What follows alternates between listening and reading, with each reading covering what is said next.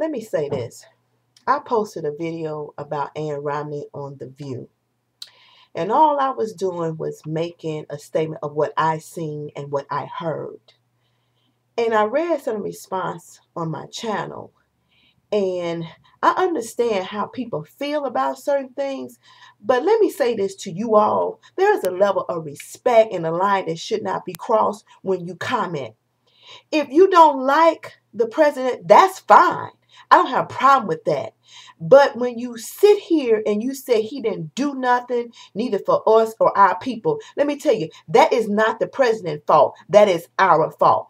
We control our destiny of what we will and will not do. So let's take the blame out of it. Secondly, it's not about a race thing. It's not about a black. It's not about a white thing. It's about the right thing for all you smart folks. Whether you feel he done something or not, that's neither here nor there. But I'm going to say this. When we had Bush in office, we had every Republican president in office. Nobody has taken it to the level that some of you people have taken it to. And it, frankly, it's just getting up under my skin. It don't make no sense of the level of ignorance. I'm not really understand, and really I don't care what you think because my opinion is my opinion. Now, now one of these videos have I been nasty or demean anybody.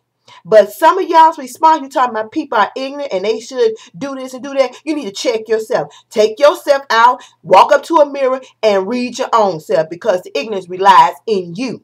Now, when we had Bush in office, nobody went to this extent.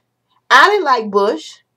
And he did a lot of stuff that's flowing over to now. So for you all smart folks, you need to check facts for yourself. You're going off what people say instead of looking into the information for yourself. This is what's wrong with us now. We want to point the finger at everybody else instead of pointing to the person to whom it should be pointed to.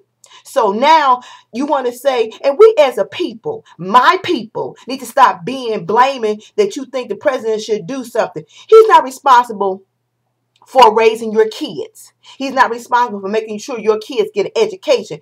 You as a parent has a responsibility that you need to own up to it. So stop putting the blame on him. Now he's not responsible because you don't want to get up and go to work or you got a lazy man or a lazy woman in your house and you want to live off of this, you want to live off of that. That is not his responsibility. So you want to put all the stuff on him, but you want to take ownership for yourself. It doesn't make any sense. When are we going to take the ownership for the dumb stuff that we don't do that we we, we should do, but we don't do.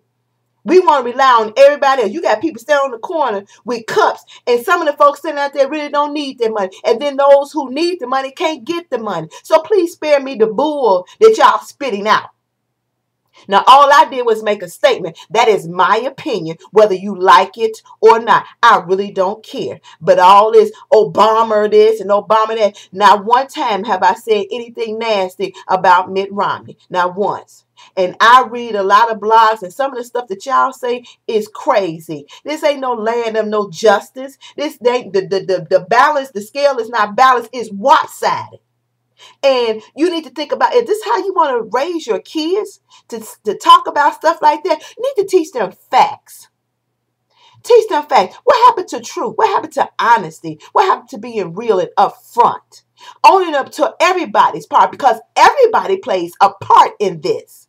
Everybody. Whatever situation goes on, we all play a part. Employers play a part. You as an employee play a part. You as a parent play a part. Children play a part.